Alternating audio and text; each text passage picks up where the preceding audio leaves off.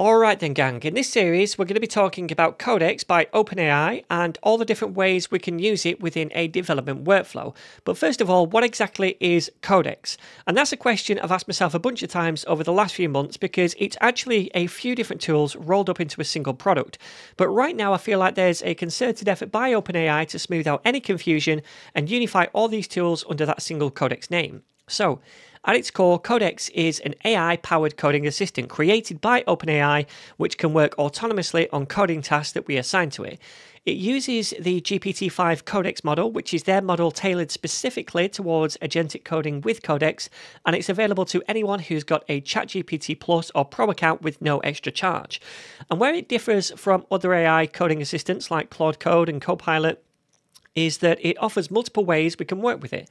There's a Codex IDE extension which can be added to VS Code or Cursor or Windsurf, and that's very much in the same vein as something like Copilot for VS Code, where we have a chat panel for interacting with AI models, and we can also let it take on coding tasks more autonomously when we need it to. There's also the Codex CLI, which is much more in the mold of Claude Code, where we interact with the models and delegate tasks directly from the terminal.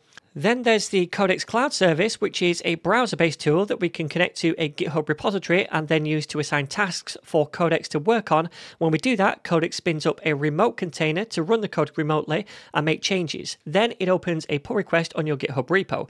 And the idea behind this is that you can spin up Codex tasks from anywhere your laptop, your mobile, or even some random computer without access to your code, because you don't need your project cloned locally. Codex Cloud connects to your repo remotely and handles things on its own server.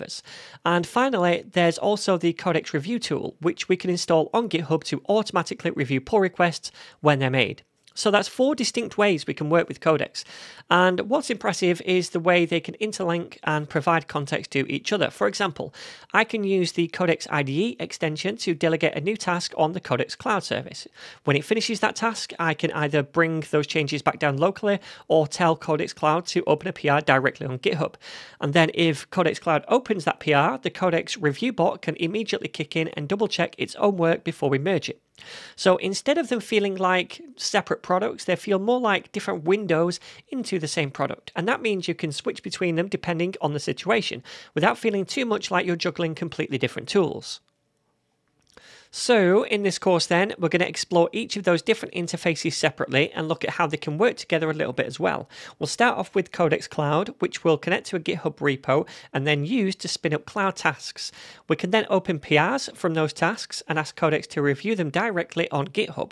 Then we're going to jump into the Codex CLI and work on a project locally before pushing those changes manually up to the repo. And after that, we'll install the Codex IDE extension in VS Code, talk about context, reasoning, and how to add add an MCP server. And finally, we'll see how the extension and Codex Cloud can work together by delegating multiple tasks from our local setup to the cloud where they can work in parallel with each other. But before we go any further, I want to mention two things. First, this is not a vibe coding course for non coders. It's a course aimed at coders, either new or experienced, who want to implement Codex into their current workflow. And so, second, with that in mind, I would expect you to have a basic knowledge of web development and ideally GitHub. And I think Git and GitHub, especially, are really important to understand when you're letting AI code on your project, because without it, AI powered coding agents can wreck your code base in a matter of minutes. So, for those interested, I've recently released a whole Git and GitHub masterclass course on my website, which also contains a chapter about AI driven workflows. So I'll leave the link to that course down below this video. It's only $10 and it's going to make you really comfortable using Git and GitHub. Anyway, with that little disclaimer out of the way, let's crack on and set up our Codex account. So, like I said before, Codex is available to anyone with a ChatGPT Pro or Plus account, so you'll need to sign up for one of those plans first, which you can do at chatgpt.com forward slash pricing. Once you have a plan, you can use the Codex Cloud service in the browser by coming to chatgpt forward slash codex. If you normally use regular ChatGPT in the browser, you should also see a link to Codex Cloud in a sidebar. And if you click on that, it's just going to bring you to the same page. So then, this is Codex Cloud, the web based service we can use to run tasks on our projects remotely. Now, in order to do this, we first of all need to give Codex access to a GitHub repo by connecting our GitHub account. So we can do that by clicking on this Connect to GitHub button right here. Or if you don't see that button, you can also go to the settings up here and then to the data controls option. And from this page, you can connect your GitHub account as well. So if we click on that button, we're going to see a pop up with some more information about this connection. And we can just then click on this button down here and authenticate with our GitHub credentials. Okay, so once that's done, we can head back to the Codex dashboard and we should see a new option to select an environment to work in. In other words, we need to select a GitHub repo we want Codex to work on and configure how it works on that project remotely. So we've not created an environment yet, but we can do that by clicking this button and then choosing to create one. When we do that, we're going to see a pop-up where we can make a new environment. And the first thing we need to do is choose a GitHub repo to work on. So you can scroll through all of your repos here to select one, and you can also search for one at the top as well. Now, I'm going to search for a dummy project that I'm making called YumPair, which is just a little food pairing application that I'm working on just for a little bit of fun. So I'm going to select that repo for this environment. Next up, we can choose to keep the automatic codex code reviews on for any new pull requests on the repo, or we can toggle it off. Now, I'm going to keep it off for now because I want to focus on other things to begin with. But later, we're going to come back and turn it on again.